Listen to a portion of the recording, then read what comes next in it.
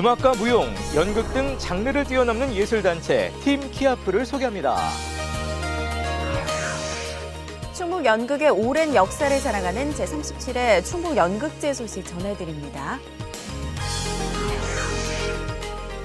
문학 속의 봄을 느낄 수 있는 여행, 춘천 문학나들이 떠나봅니다.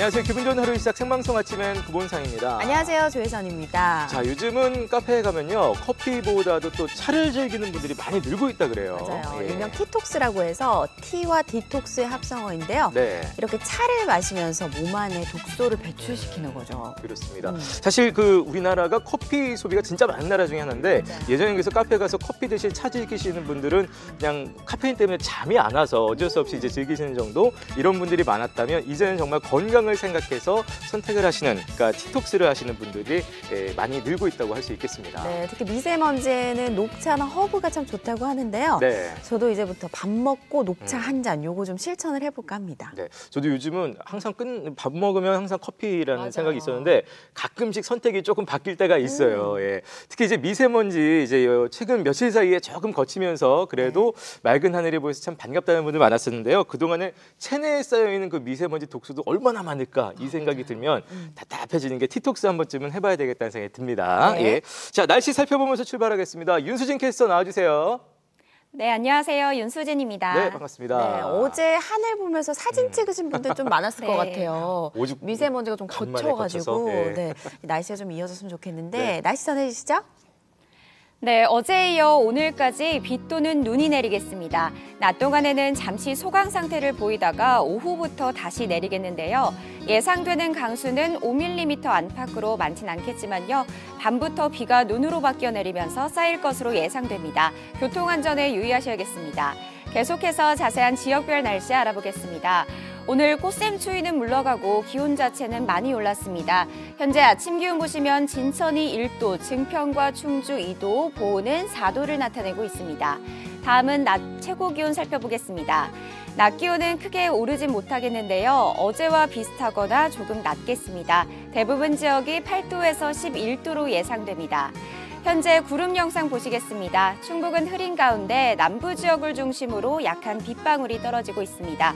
오늘 미세먼지 지수 보통에서 좋음 수준이 예상됩니다. 주말부터는 다시 맑아지겠지만 일교차는 더 벌어지겠습니다. 옷차림에 유의하셔야겠습니다. 올봄 주목할 만한 패션 트렌드를 살펴볼까요? 벨트와 wide pants는 계속해서 유행할 것으로 보이고요. netting은 see-through와 비슷하지만 좀 더 성긴 모양의 그물 형태라고 합니다. 여기에 있는 패션 아이템을 잘 살펴보셔서 올봄 패션 리더가 되어보면 어떨까요? 지금까지 아침 N 날씨와 생활정보였습니다.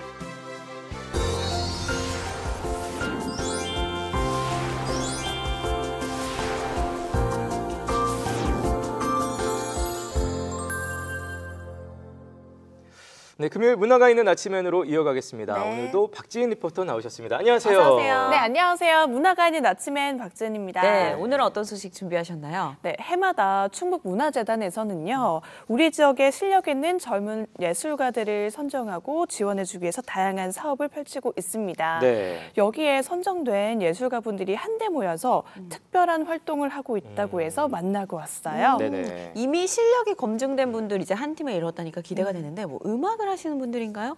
어, 이게요, 무엇이다라고 한마디로 정의 내리기는 좀 어려운 팀을 만나고 왔어요. 아, 그래요? 이게 정의 내리기 어렵다 그러면 우리가 흔히 행위예술가 막 아, 이런 거 생각나는데 어, 어떻습니까? 그것은 아니고요. 네네. 하지만 보고 듣고 느낄 수 있는 참 다채로운 예술을 하는 분들을 만나고 왔거든요. 궁금하실 텐데 팀 키아프입니다. 화면으로 만나보시죠.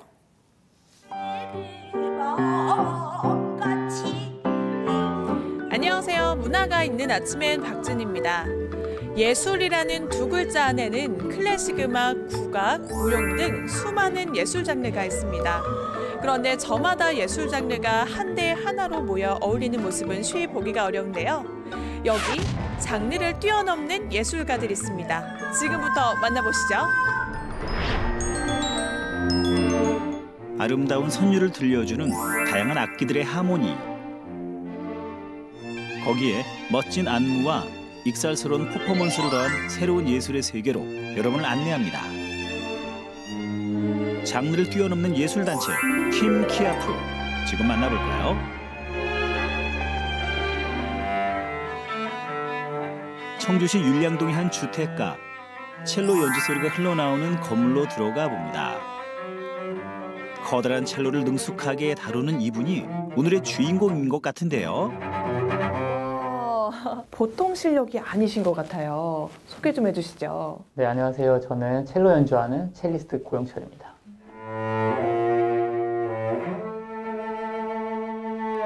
충북에서 활동하는 젊은 첼로 연주자 고영철 씨. 이곳은 고영철 씨의 연습실이자 작업실인데요.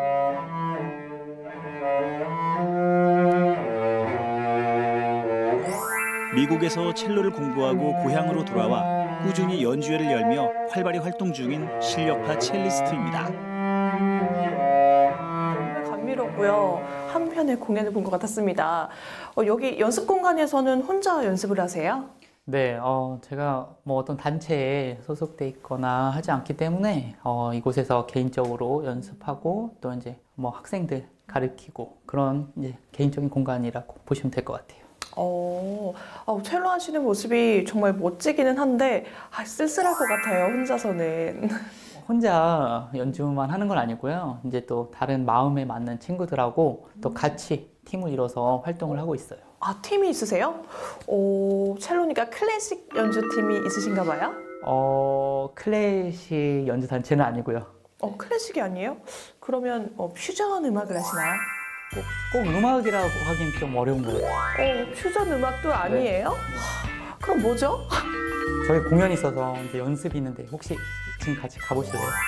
네, 궁금하네요. 클래식도 아니고 퓨전 음악도 아닌 수상한 공연팀을 만나러 간 곳 청주 동부창고입니다. 요즘 지역 예술가들을 위한 연습 공간으로도 활용되고 있죠. 안으로 들어가 보니 벌써 연습이 한창인데요. 어, 그런데 피아노 연주하는 분에 뭔가 연기 같은 걸 하는 분도 눈에 띄고요. 거기다 첼로에 실로폰 연주까지. 오호, 그야말로 정체를 알 수 없는 조합이네요. 고영철 대표가 있는 팀이 궁금해서 따라와 봤는데요. 여러분이 계십니다. 어떤 팀인가요? 지금까지 이런 예술은 없었다. 우리는 키아프예요. 팀 키아프 맞죠? 네. 어, 여러 장르의 분들이 모여서 함께 한다는 이야기를 들었는데 어떤 일들을 하고 계실지 궁금합니다. 먼저 대표님은 아까 첼로를 거 들어왔고 옆에 있는 분은 어떤 악기를 담당하세요? 아, 저는 타악기를 담당하고 있는 네. 임석준입니다. 어, 타악기요? 네. 첼로와 타악기. 어, 조금 낯설기는 하지만 그럴 수 있다고 생각이 들어요. 네, 알겠습니다. 옆에 분은 어떤 일을 하시나요? 네, 저는 현대무용을 춤추고 있는 한송이라고 합니다. 아, 현대무용이요? 네. 어, 첼로와 타악에 이어서 무용이 나왔단 말이죠? 들으면 들을수록 좀 알쏭알쏭합니다. 옆에 분은요? 아, 저는 어, 연극을 담당하고 있는 이동섭이라고 합니다. 연극이요? 네네. 여기 지금 악기와 타악, 무용, 그리고 연극까지. 아, 조합이 정말 당황스럽습니다. 이 팀 정말 뭐죠? 우리는 팀 키아프예요. 지난 2015년에 결성된 팀 키아프. 악기 연주만 하는 것이 아니라 무용과 연극 등을 접목해 귀로 감상하고 눈으로 즐기는 그야말로 종합 예술 공연을 선보이고 있습니다.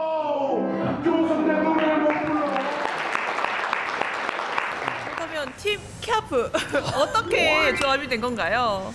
네, 저희 팀 키아프는 어, Creative Young Art Frontier의 앞자를 따서 키아프라는 단어를 만들었고요. 네.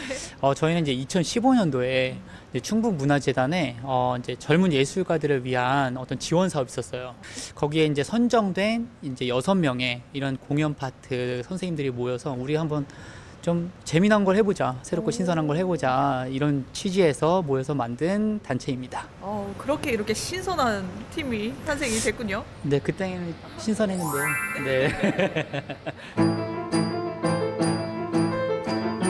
팀 키아프는 충북문화재단의 청년예술가 창작 환경 지원 사업에 선정된 실력 있는 차세대 예술가들로 결성된 예술단체입니다.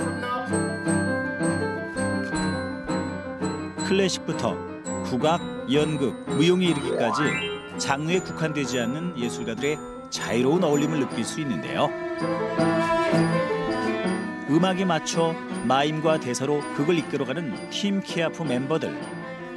듣기만 하는 음악 공연이 아니라 이야기가 담긴 클래식의 새로운 해석이 엿보입니다. 자, 팀 키아프의 연습 장면 잠시 감상해 보실까요?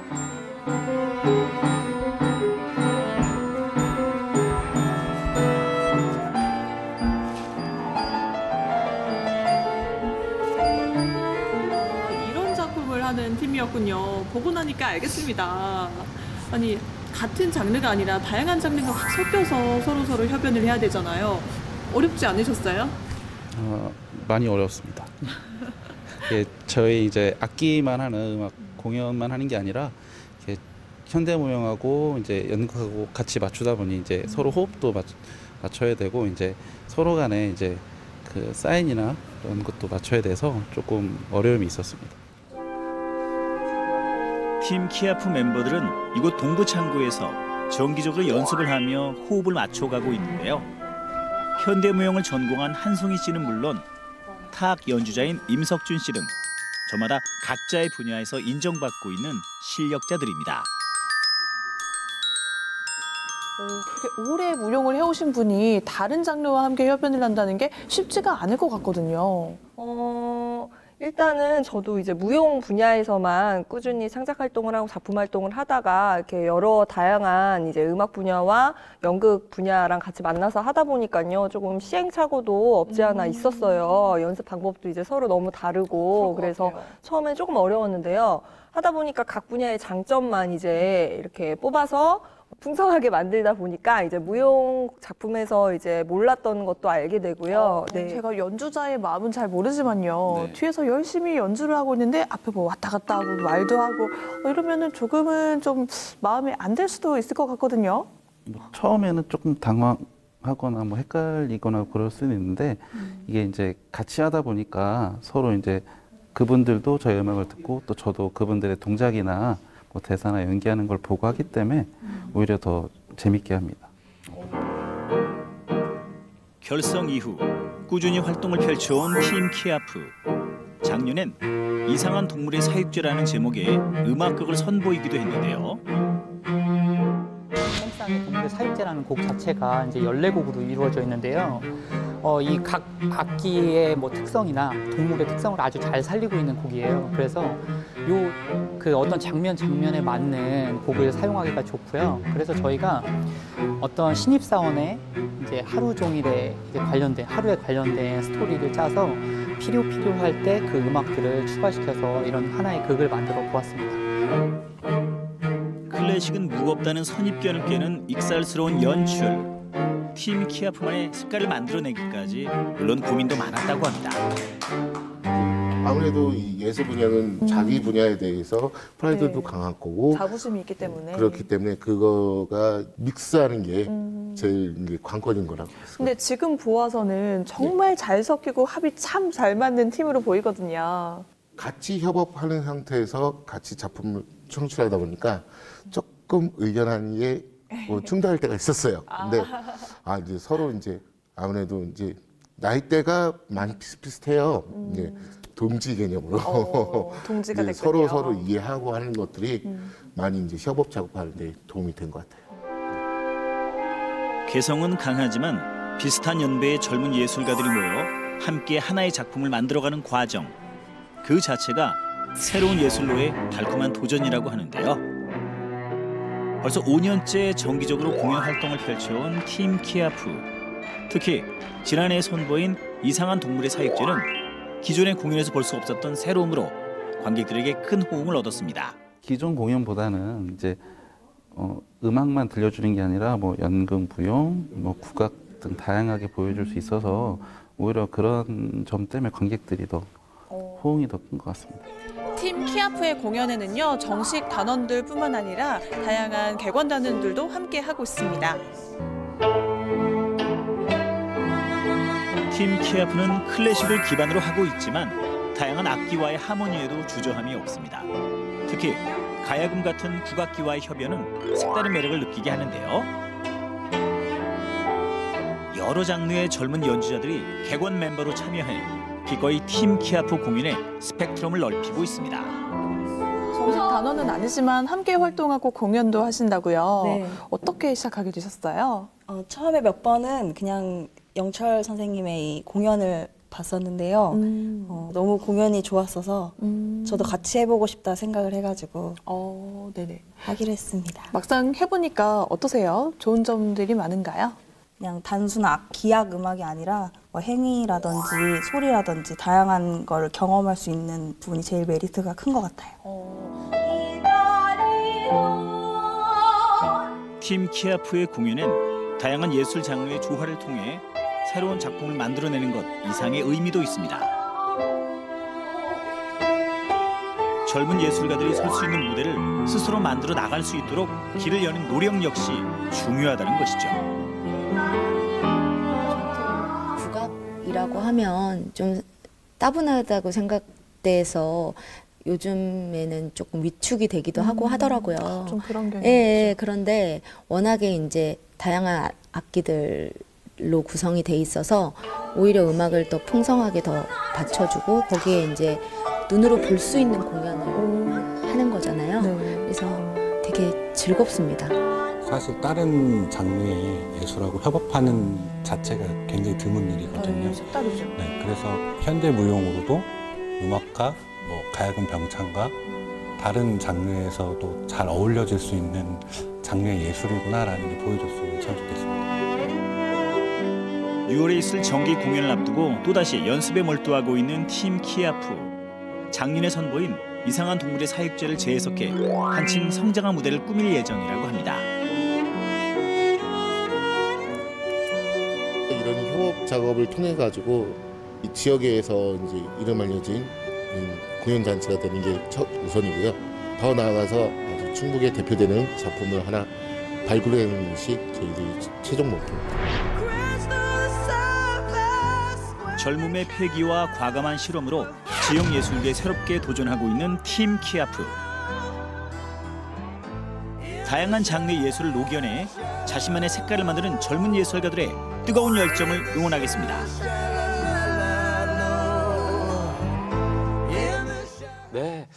어, 굉장히 흥미롭게 재밌게 봤습니다. 지금까지 정말 본 적 없는 어떤 공연체의 모습을 봤는데 종합예술, 예술 장르 종합체 이렇게 표현할 수도 있을 것 같아요, 진짜. 네, 맞습니다. 팀 키아프는요, 우리 음악에서부터 현대 무용에서 이르기까지 시대와 장르를 뛰어넘어서 다양한 예술을 대중들이 쉽게 접할 수 있도록 다양한 고민을 하고 있다고 하는데요. 네. 제가 실제로 연습 현장에 가서 어떤 것들인지 보고 왔잖아요. 네. 어, 정말 팀 키아프를 통해서 만나니까 클래식도 현대무용도 어렵지 않게 재밌게 접할 수 있더라고요. 네. 예술이라는 공통점이 있지만 장르가 다 다르고 이게 특성도 다를 네. 텐데 그걸 한데 모아가지고 이렇게 한다는 게 정말 대단한 것 같아요. 네, 말씀하신 게 맞아요. 팀 키아프의 최대의 강점이 그것이 아닐까 하는데요. 서로 아쉬운 점은 보완해 줄 수 있고 강점은 극대화해서 하나의 공연으로 만들어낸다는 것. 네. 과정이 물론 쉽지는 않겠지만 그 결과물이 정말 아름답지 않나요? 네. 원래 또 그렇게 조정해 가면서 그 갈등이 좀 있으면서 그런 것들이 다 어떤 재미 또 예술을 위한 또 노력이 되겠죠. 우리 지역에 사실 이렇게 젊은 예술가들이 많이 있고 정말 어떤 더 나은 발전을 위해서 노력하고 있다는 거를 아, 뭐 저희도 오늘 좀 처음 봤습니다만 더 많은 분들이 좀 알아주셨으면 좋겠어요. 네, 맞습니다. 지금 보시면서도 연극과 무용, 음악 이런 것들이 한데 모여서 섞인다는 것이 어떤 것인지 실감이 안 나는 분들도 있으실 것 같은데 네. 곧 공연을 앞두고 있다고 합니다. 많이 찾으셔서 눈으로 직접 확인해 보시면 그 매력에 푹 빠지실 수 있을 것 같아요. 네, 바로 얼마 남지 않았습니다. 6월에 6월에 청주 예술의 전당에서 정기 공연이 있다고 합니다. 저도 네. 이렇게 화면 보니까 한 번씩 가서 꼭 구경하고 싶다 이 생각이 드는데요. 많은 분들 좀 함께 해주시고 응원해 주셨으면 좋겠습니다. 네. 예. 자, 저희는 바로 이어서 아침엔 퀴즈 나가겠습니다. 네, 오늘의 문제는요. 다음 중 팀 키아프의 공연에서 볼 수 없는 예술 장르는 무엇일까요? 네네. 없는 것을 골라주세요. 1번 클래식 음악, 2번 연극, 3번 현대무용, 4번 한국화 중에서 골라주시면 되겠습니다. 아무래도 무대 위에서 네. 공연하는 어떤 장르들의 총 집합이었기 때문에 이 중에 하나는 음. 조금 좀, 동떨어진. 예, 동떨어진 것이 네. 하나 있죠. 예. 네. 자, 정답 문자는 샵 0997번으로 받고 있습니다. 샵 네. 0997번. 짧은 문자 50원, 긴 문자 사진 문자 100원이고요. 오늘도 주제 문자 있습니다. 주제 문자 오늘은 지은 씨에게 좀 부탁을 드릴까요? 예. 네, 요즘 날씨도 따뜻해지고요. 문화생활하러 나가시는 분들 많으실 것 같은데 오늘은 그동안 관람했던 공연 중에서 가장 네. 인상 깊었던 공연 사연과 함께 남겨주시길 바랍니다. 아, 공연 사실 공연 우리가 그렇게 썩 자주 보여질 못하겠지만 맞아요. 오히려 그렇기 때문에 한 번 봤던 공연 굉장히 기억에 남을 수도 있을 것 같습니다. 네. 예, 여러분의 기억 속에 남아 있는 공연 아, 정답 문자 함께 지금 바로 보내주세요.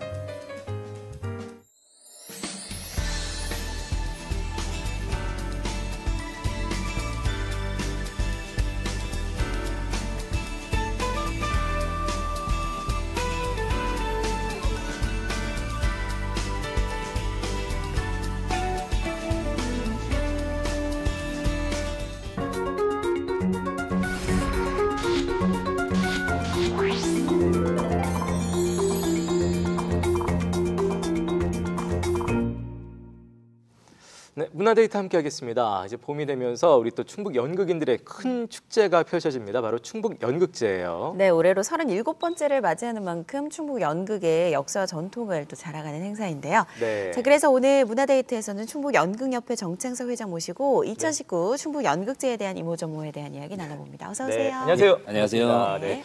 자, 충북 연극제 일단 어떤 행사인지 소개를 좀 해주시죠. 예, 충북 연극제는 올해로 이제 37회가 됐습니다. 네. 아, 도내 각 극단들이 경연을 펼쳐서요. 어, 대한민국 연극제에 출전할 그 대표팀을 뽑는 어, 충북 연극협회 한해 사업 중에서 가장 큰 사업 중 사업이라고 할 수 있습니다. 네. 오래됐네요. 좀 예. 오랫동안 충북 연극을 위해서 애써 오셨잖아요. 충북 연극협회 회장으로서 연극제를 개최하는 소감이 또 남다르실 것 같아요. 어떠신가요? 네. 한번 정말 남다르신 것 같은데요.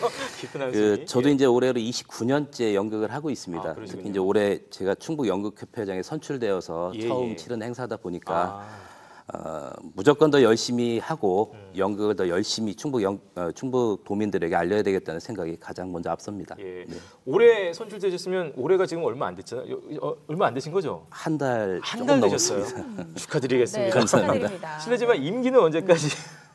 3년입니다. 아, 3년이나. 네. 아, 이게 또 첫 출발하시는 그 시작점에서 음. 치르는 충북 연극제다 보니까 네. 더 긴장도 되시고 어, 작년과 또, 또 어떤 점이 차별화된 어, 많은 좀 준비를 하셨을 것 같은데요. 올해 충북 연극제는 어떤 점들이 좀 다르리 좀 소개가 되고 있을까요? 예, 그 올해는 이제 어, 충북 연극 협회의 다섯 개 극단이 이제 출전을 합니다. 그래서 어, 극단 늘품의 하이엔이 네. 어, 소공연장에서 22일 날 하고요. 대공연장에서는 극단 청년극장의 To Be 이상설.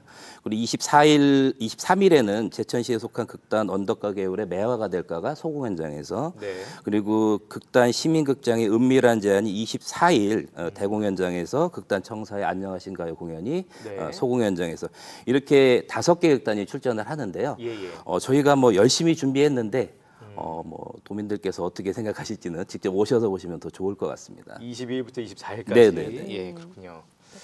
매번 좋은 공연들이 많아서 항상 기대가 됩니다. 어떠신가요 이번에는요?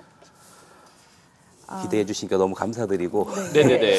어떤 또- 연극들이 무대 구체적으로 오르게 되나요? 예, 올해는 지난해와 달리 아, 또 이제 또 총 다섯 개의 작품이 출전을 하는데요. 네. 어, 3.1절 만세운동 100주년과 임시정부 수립도 이제 100주년이 있는 뜻깊은 해에 맞게 어, 독립운동가 선생님의 이야기를 다룬 극단 청년극장의 To Be 이상설 공연이 있고요. 그 천사를 누릴 수 있다는 가설하에 인간의 욕망과 선택을 다룬 이야기가 극단 시민극장의 은밀한 제안이라는 작품이고요. 예. 또 순수한 시골 노총각이 베트남 여성과 결혼을 했지만 현실과 타협하는 모습 속에 우리 시대에 돌아보는 이야기 극단 늘품의 하이엔 그리고 조선 시대에 이루어질 수 없었던 사랑을 가슴 시리게 풀어낸 이야기 극단 언덕가결의 매화가 될까 그리고 평범한 기러기 아빠 일상을 코믹하게 풀어서 건조한 일상을 유쾌하게 풀어낸 이야기 네. 극단 청사의 안녕하신가요 등 다양한 소재를 가지고 출품을 했습니다. 예. 아, 특히 예전과 좀 달리 네네. 올해는 그 22일과 24일에는 어, 4시에는 소공연장에서 그리고 7시 30분에는 대공연장에서 두 편의 작품을 하기 때문에 네. 아마 연극을 좋아하시는 그 매니아 분들께서는 어, 두 편을 하루에 볼 수 있다는 아주 좋은 뭐. 기회가 되지 않을까 생각하고 있습니다. 예. 네. 사실 저도 그 전에 한번 요거 그 전에 했던 네네. 연극제 때 가서 한번 본 적은 있거든요. 아, 네. 어떤 작품? 실제로 지- 지금 기억 제목 기억이 안 나는데 아, 이 오랜만에 연극 보니까 굉장히 재밌다는 생각이 들었어요. 그래서 네. 어, 이번에도 가서 좀 한번 구경을 꼭 해봐야 되겠다 생각이 드는데 네. 네. 사실 연극이라는 장르가 대도시에서도 어떻게 보면은 뭐 이렇게 찾아가서 또 보시려면 또 어려움이 있겠습니다만 네. 지방 소도시일수록 더 이렇게 좀 음, 찾아가서 즐기시는 게 좀 기회가 적잖아요. 네. 지역의 연극계 상황 어, 솔직하게 지금은 어떻습니까 현실이? 어, 이런 얘기를 하면 저도 좀 가슴이 좀 아픈 부분이 좀 있긴 한데요. 예, 예. 어, 수도권의 경우만 해도 뭐 극단도 많고 또 인력도 많고 극장이 많다 보니까 연극 공연을 할 수 있는 좋은 환경이 많이 되어 있습니다. 하지만 그 지역의 경우에는 또 그 부분들이 좀 부족한 게 사실이다 보니까 아, 각 극단들이 이제 열심히 공연 작품을 준비하지만 네네. 그 각각의 지원금의 특성상 또 여기 청주시가 아닌 다른 지역에서 공연을 하는 경우가 굉장히 많거든요. 아, 그래요.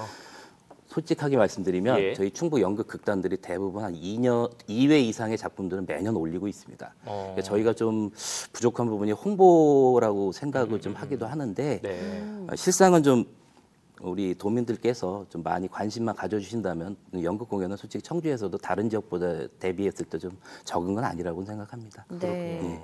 지금은 이제 충북 연극계 상황이 살짝은 녹록지 않은 음. 현실인 것 같은데 네. 과거에는 충북 연극의 위상이 굉장히 높았다고 들었어요. 네. 충북 연극의 역사에 대해서도 좀 설명을 해주시죠. 네. 어, 제가 바로 그때 제일 충북의 그 르네상스 시대라고 했던 연극의 르네상스 시대에 들어온 케이스인데 29년 전에 예, 29년에 이제 90년도에 입단을 예, 예. 했거든요. 어, 지금 청주에 보면 시민극장이 벌써 올해 50주년을 맞이하고 있고요. 다른 예. 극단들도 20주년, 20년에서 30년 이상 된 극단들입니다. 예. 어, 예전에 그 대한민국 연극제 원래 전신 이름이 전국 연극제였습니다. 음. 어, 전국 연극제에 대통령상 그리고 금상, 은상은 뭐 매번 나갈 때마다 받을 정도로 어. 충북 연극 아주 대단히 뭐 전국에서 부러워하는 그. 연극 고장이고요. 예, 예.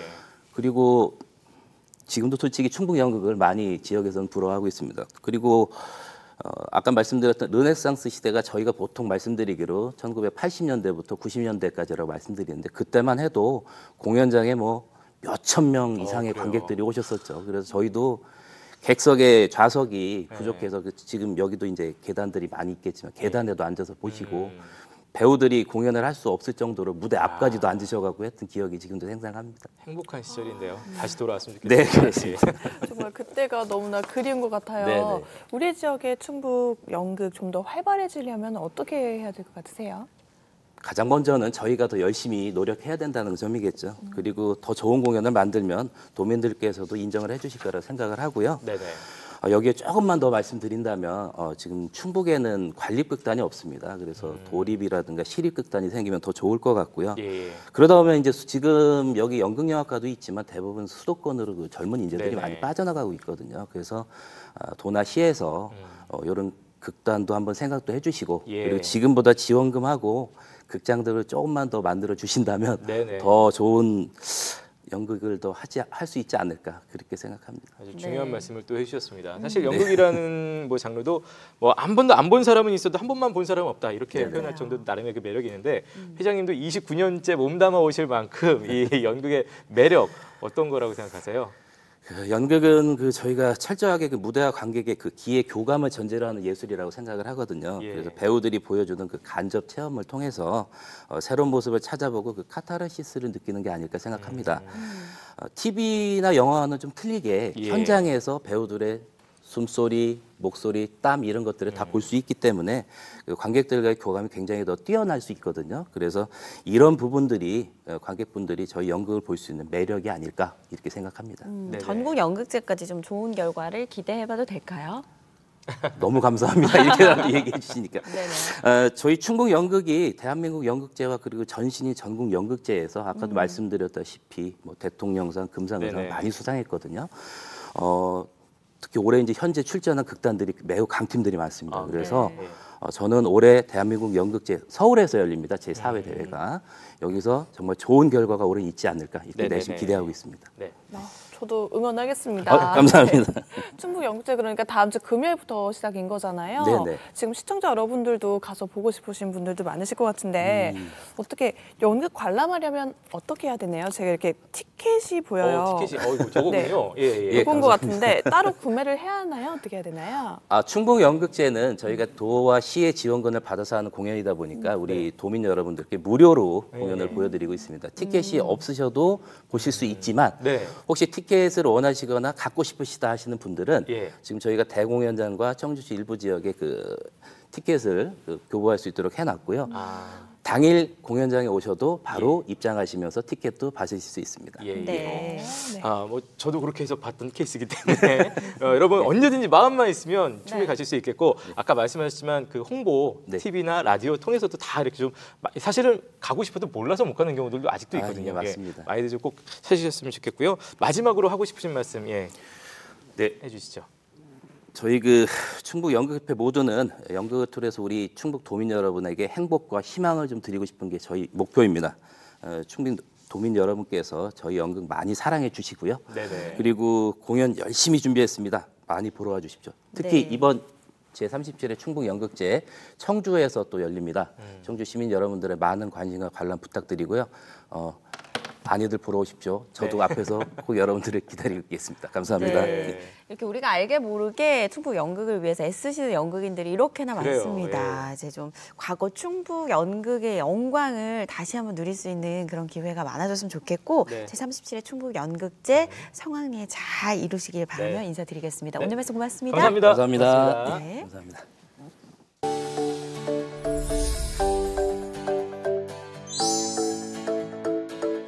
오늘은 남녀 구분 없이 제일 없었으면 하는 옆구리살을 빼는데 도움을 주는 스파이더맨 플랭크 배워보도록 하겠습니다. 스파이더맨 plank는 기본 plank에서 무릎을 당겨와서 옆구리를 자극시켜주는 동작입니다. 기본 플랭크 자세를 만들어 주실 거예요. 복부에 긴장을 해주시고 바른 골반 넓이 유지. 동작하는 동안 어깨가 빠지지 않게 뒤어깨 멀어지게 어깨 안정화를 계속 주면서 동작해 주실 거예요. 그대로 한쪽 무릎을 구부려서 내 겨드랑이 쪽으로 가져와서 시선 구부린 다리 쪽 다시 제자리 반대쪽 동일하게 반복 동작을 하는 동안 복부에 힘이 풀리지 않게 유지해 주시고 무릎을 겨드랑이 쪽으로 가져올 때는 옆구리를 더 조이면서 옆구리에 힘이 들어가는 걸 느끼면서 동작해 주실 거예요. 골반은 열리지 않게 계속 바닥을 향할 수 있도록 놓아주시고요.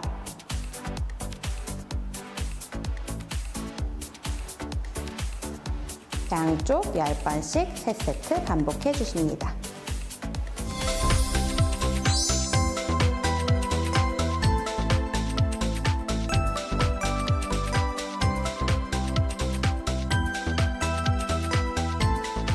기본 플랭크에서 그대로 한쪽 무릎을 구부려서 겨드랑이 쪽으로 가져오며 시선 구부린 다리 쪽.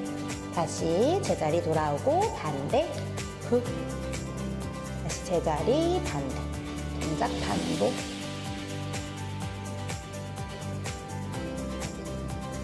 동작을 하는 동안 골반과 힙이 올라가지 않도록 왼쪽 오른쪽 골반의 높이를 맞추며 동작해 주실게요.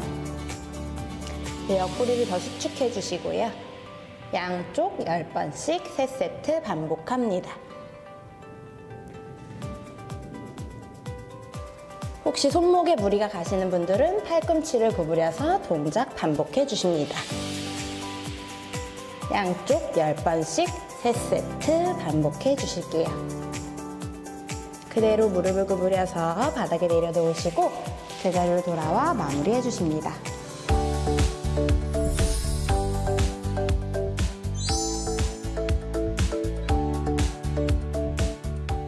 네, 표 선생님과 함께 했던 1부 홈트 만나봤고요. 네. 저희는 아까 내드렸던 아침엔 퀴즈 한 번 더 나가겠습니다. 네, 다음 중 팀 키아프의 공연에서 볼 수 없는 예술 장르는 무엇일까요? 네. 1번 클래식 음악, 2번 어, 연극, 3번 현대무용, 4번 한국화 중에서 골라주시면 되겠습니다. 네, 아까 뭐 팀 키아프가 뭐 첼로에 뭐 연극에 무용에 뭐 하여튼 뭐다뭐 했어요. 네, 근데 요거 그 빼고. 요거 빼고 무대 공연으로 적합하지 않은 요 하나를 빼고 다 했습니다. 네. 예. 아, 정답 문자 샵 0997번으로 받고 있습니다. 샵 0997번. 짧은 문자 50원, 긴 문자 사진 문자 100원의 정보 이용료 있고요. 어, 저희가 주- 주제 문자 함께 또 있습니다. 네, 오늘의 주제 문자는 가장 기억에 남는 공연 무엇이 네네. 있는지 보내주시면 되겠습니다. 다양해요. 뭐 길거리 공연이 될 어, 수도 그렇죠. 있겠고요. 예, 예, 예. 뭐 저처럼 이제 아이 엄마이신 분들은 아이들 그 뮤지컬 공연 이런 예. 거 있거든요. 근데 진짜로 아이가 처음으로 음. 어디 사회 사회생활이죠. 네. 그 무대에 올라가서 하는 공연 같은 거는 어, 진짜 뭐 제일 거. 기억에 음. 남을 수도 있을 것 맞아요. 같아요. 눈물 나요. 예, 진짜 그러니까 어디 근사한 공연장에서 내가 뭘 봤더라 이거 너무 고민하지 마시고 네. 길거리든 어디든 뭐 어떤 작은 거라도 좋습니다. 여러분의 기억 속에 남는 공연 에피소드 아, 정답과 함께 지금 바로 보내주세요.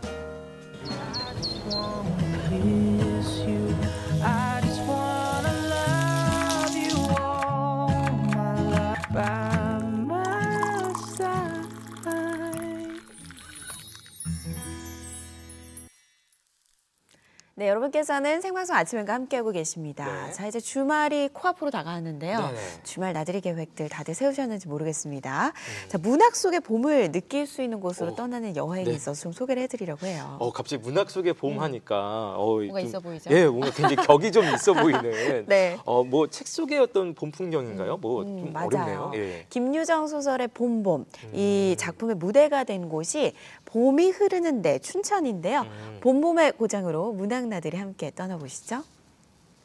안녕하세요. 리포터 김윤아입니다. 여러분, 봄이 왔습니다. 하지만 하늘이 미세먼지 때문에 흐려서 봄이 온 줄 모르겠어요. 그래도 여러분 걱정 마세요. 제가 오늘은요 춘천의 봄나들이 명소를 소개해드릴까 합니다. 여러분 함께 가보시죠. 봄의 고장 춘천에서도 가장 봄을 진하게 느낄 수 있는 곳. 강원도의 소박하고 정겨운 봄 풍경이 소설에 담겨 두고두고 전해지는 곳. 가장 봄이 아름다운 마을 김유정 문학촌으로 봄나들이를 떠나본다. 안녕하세요. 제가 오늘 봄나들이를 나왔는데요. 이곳에 오면 조금 더 제가 봄을 느낄 수 있을까요? 아, 잘 오셨어요. 어, 김유정 문학촌은 김정 선생님이 대표작이 봄봄이잖아요. 그러니까 이곳에서 어, 충분히 봄을 느끼실 수 있을 것이라고 생각이 됩니다. 그럼 저희 함께 가보실까요? 그러실까요? 네. 김유정 작가의 모든 걸 한눈에 둘러볼 수 있는 김유정 기념 전시관. 이곳엔 김유정의 삶과 사랑, 작품 세계까지 총망라돼 있다. 관광 오시는 분들이 분들이나 학생들한테 봄봄의 의미를 어떻게 규정할 것일까라고 얘기했을 때 아주 다양한 의견이 나와요. 어떤 학생들은 점순이 얼굴에 점이 하나 있다 이렇게 표현하는 사람들도 있고 또 어떤 분들은 하늘총과 하늘과 땅을 표현하는 가운데 점이다라고 표현하는 사람들도 있고 또 어느 사람들은 그 대릴사위가 또 봄을 겪고 그 다음도 역시 다시 똑같은 봄을 겪는다는 그런 의미의 어, 점이라고 표현하는 사람도 있는데 이건 작가만이 알 수 있는 그런 문학적인 기호라고 생각이 됩니다. 어, 굉장히 궁금해지는데요. 집에 가서 봄봄 다시 한번 읽어봐야 되겠어요. 왜 그리워 아프다니까 아 일하다 말면 어쩔게요 농촌을 배경으로 한 김유정의 단편 소설 봄봄. 빨리 장가가고 싶은 대릴사위와 호락호락하게 혼례를 치러주지 않는 장인의 갈등이 해학적으로 묘사돼 독자들에게 꾸준히 사랑받고 있는 작품이다. 아 그러면 얼른 성례를 시켜줘야죠. 밤낮 부려와 먹고 그냥 해준다 그러고 해준다 그러고. 아 내가 안 하는겨. 아 점순이 그년이 안 크니까 그렇지. 점순이의 키가 더 자라면 혼례를 올려주겠다던 장인의 약속과 달리 점순이의 키는 도통 자라지 않고 맨날 이딴 거나 이거 다니니까 어디 키가 크겠는가 원래 체격이 작은 점순이를 두고 티격태격하는 소설 속 명장면은 실제 소설의 배경인 이곳 신례마을에 잘 재현돼 있다. 봄봄은 물론 다양한 소설 속 장면을 직접 만날 수 있는 김유정 문학촌.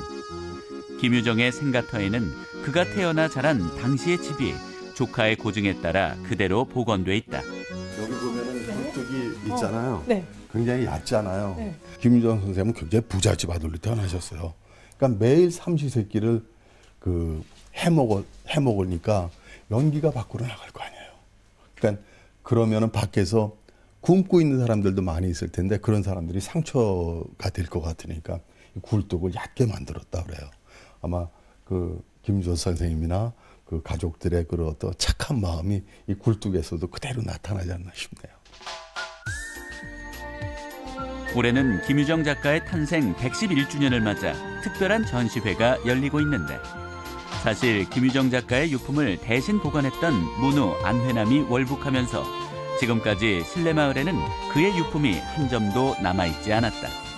하지만 오랜 세월을 돌고 돌아 마침내 김유정 작가의 엽서 한 점이 고향집에 돌아온 것이다. 이번에는 김유정 이야기집을 찾았는데요. 오, 이곳에서는 어떠한 이야기가 펼쳐질지 궁금하네요. 네, 이곳에서 이제 김유정의 삶, 삶과 아, 문학에 대한 많은 이야기를 또 어, 접할 수 있을 것입니다. 1908년 태어나 29 젊은 나이에 요절한 김유정 작가. 비록 짧은 생을 살았지만 그는 30편이 넘는 작품을 남겼고 누구보다 낮은 눈높이에서 서민들의 삶을 담아냈다. 여러분, 뽀뽀라는 말 알고 계시죠? 입을 맞추다라는 뜻의 단어인데요. 이게 우리 문학 작품에 처음 등장한 때를 알고 계세요?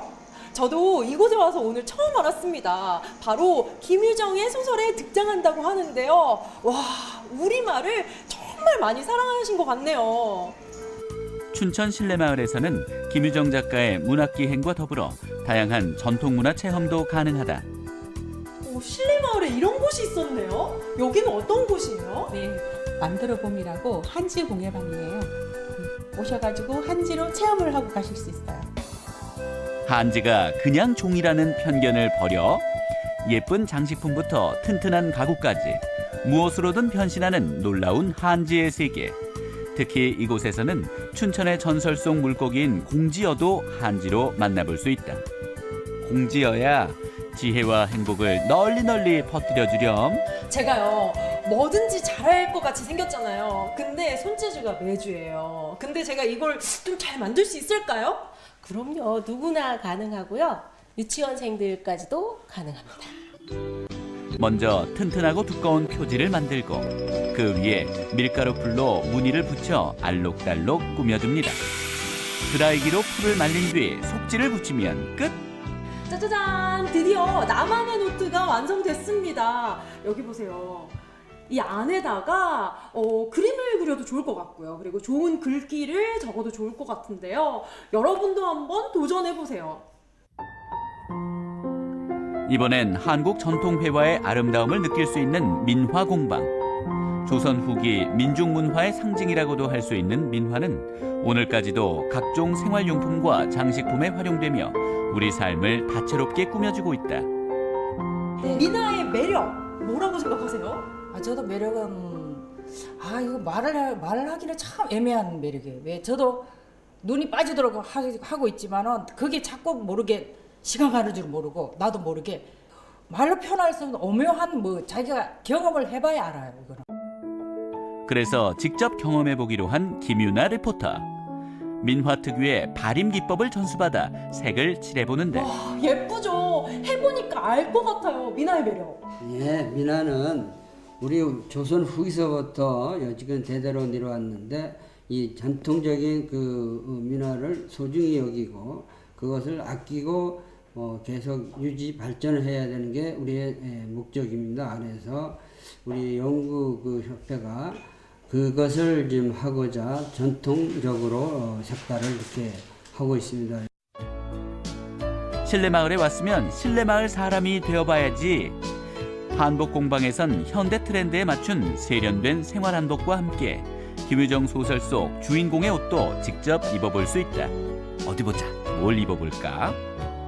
김유정 문화촌이랑 한국이랑 어떠한 상관관계가 있나요? 이 동네 마을에 선생님이 태어나신 곳이니까 아담한 이런 마을에 대해서 공부도 해보고 그렇게 할 적에 입고 다니면서 아주 편하게 어, 예쁜 옛날 추억을 더듬어 볼 수 있는 그런 옷들이에요. 김유나 리포터도 이곳에서만큼은 실내마을 슈퍼스타 점순이 빙그르르 돌며 천방지축 말괄량이 같은 모습이 딱 점순이 맞네요. 어때요? 잘 어울리지 않나요? 마치 1930년대 김유정 소설 봄봄 속의 점순이가 된 것 같지 않아요? 그런데 점순이가 이렇게 예뻤을까요? 김유나 리포터 아무래도 좀 차분해질 필요가 있겠다. 여기서 도예 체험으로 마음 수련을 좀 해야겠는데요. 이번에는 흙의 예술 도자기 공방. 실내마을에서 이렇게 도자기를 구경할 수 있을지 몰랐네요. 어, 그러게요. 저희 여기는 이제 흙을 이용해서 여러 가지 hand painting이라든지 어, 흙빚기라든지 물레를 이용해서 내가 원하는 다양한 기물들을 한 번씩 도자기를 만들어 보는 곳이에요. 직접 물레를 돌리며 나만의 찻잔 만들기에 도전하는 김유나 리포터. 만드는 이의 손모양에 따라 그 사람만의 특별한 찻잔이 물레 위에서 탄생한다. 말 그대로 유일무이한 나만의 작품.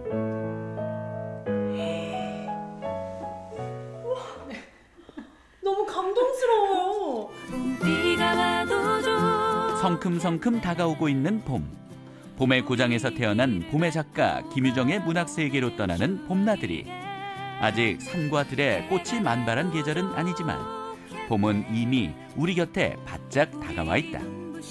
다양한 문화 체험으로 얻을 수 있는 새봄의 활력.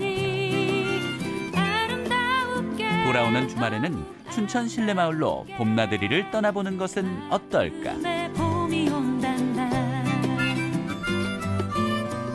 네.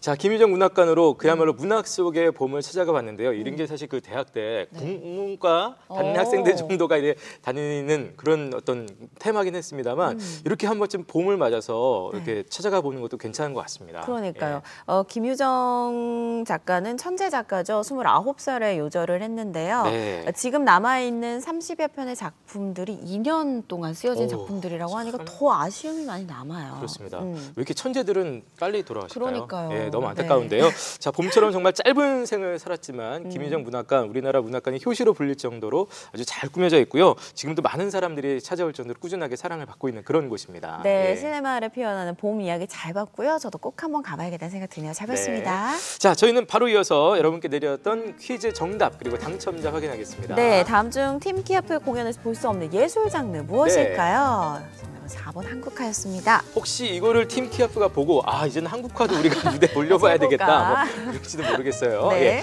자 저희가 세 분을 뽑아봤습니다. 네, 휴대전화 뒷번호 5206님 그리고 50 0546님, 8642님 축하드립니다. 세분 축하드리겠습니다. 네. 5206님부터 좀 살펴볼까요? 네, 모든 공연들이 다 감동이었지만 제 딸아이의 발레했던 모습이 제일 감동이었습니다. 사진이 지금. 인증샷과 함께. 아이고. 진짜 눈물이 난다니까요. 그래요. 네. 네. 그럴 것 같아요. 아, 지금 너무 예쁘게 발레복을 입고서 예, 사진까지 감사합니다. 예. 자 그리고 0546님. 내 나이 어느덧 60살 아, 조용필 씨가 청주 공연을 왔을 때 마음껏 소리치고 함께 감동받으면서 행복했던 시간이 아련하다고 하셨네요. 이제는 나를 위해서 공연도 전시회도 가끔은 가봐야겠어요 라고 하셨습니다. 아유, 사실 조용필 씨 공연은 어, 나이 드신 분들뿐만 아니라 젊은 분들 가서 맞아요. 봐도 될 만큼 정말 세대를 아우르는 예, 뭐 가왕이죠 가왕. 네, 저도 좀 보고 싶네요. 예. 네, 그리고 8642님이세요. 네네. 어, 78세 저희 어머니 활기차고 즐겁게 에어로빅 하시는 아. 모습 보니까 딸로서 너무너무 네. 행복했어요 하셨습니다. 아, 음, 뭐 공연을 하신 것 같아요. 에어로빅 그러니까 공연. 에어로빅 공연 열심히 또 하셨는데 아니 저희가 사실 예를 들면서 뭐 어린이집 그런 공연 이렇게 했는데 거꾸로 어. 나이 드신 부모님의 공연을 보면서 또 이게 또 감동받고 우와, 기억에 남을 것수 있다. 예, 이 생각은 또 못 해봤네요. 네. 우리 8642님 문자까지 감사드리겠습니다. 네. 세 분께는 저희가 준비한 소정의 상품들 보내드리도록 할게요. 네, 예. 생방송 아침에 이제 마칠 시간인데요. 네. 미세먼지 때문에 한동안 이제 야외 활동 좀 자제하셨던 분들은 네. 주말에 좀 파란 하늘을 보고 나들이 음. 계획을 세우실 수 있을 것 같습니다. 그렇습니다. 특히 이제 봄 되면서 아 산 가고 싶다 등산 계획하시는 분들 많으실 것 같은데 사실 등산 갈 때 우리 같은 뭐 일반인들은 거의 날씨가 8월 이상이라고 봐도 되잖아요. 사실 날씨 좋으면 가고 싶고. 근데 봄에 예, 날씨 좋을 때 가는 등산이라도 주의할 점은 분명히 있습니다. 몇 가지 좀 소개해 드릴게요. 네, 특히 봄은 일교차가 크기 때문에 이렇게 좀 주의를 해야 될 텐데요. 체온 유지 같은 부분에서는 네. 산이 또 평지 온도 차이가 많이 나요. 그래서 자칫 저체온증에 빠질 수가 있기 때문에 이거 네네. 주의를 하셔야겠고요. 또 바위나 계단을 오르는 과정에서 무릎 또 음, 다칠 수 그렇죠. 있다는 거 요것도 좀 유념을 하셔야 됩니다. 사실은 등산 내려오실 때 꼭 그 관절 같은 거 다치시는 분도 있거든요. 그리고 뭐 얼었다 녹다 표현하셨는데 이땅 자체가 그 기온 차이가 많이 나서 얼었다 녹기 때문에 그 더 질척거리고 좀 미끄러지거나 위험하실 수 있습니다. 봄철 등산 조심하시고요. 자신에게 맞는 적절한 등산 코스 이용을 하시기 바라겠고요. 특히 옷은 얇은 옷을 여러 벌 어, 여러 벌 가져가서 겹쳐서 입으시는 게 좋겠고 또 열량 높은 간식이라든지 네. 어, 따뜻한 음료 같은 것도 같이 챙겨가시면 좋다고 합니다. 깨알 팁 전해드렸습니다. 네네. 자, 다음 주 월요일에는요 화사한 봄꽃을 보고 마시며 이렇게 꽃과 사랑에 빠진 사람들 만나보도록 네. 하고요.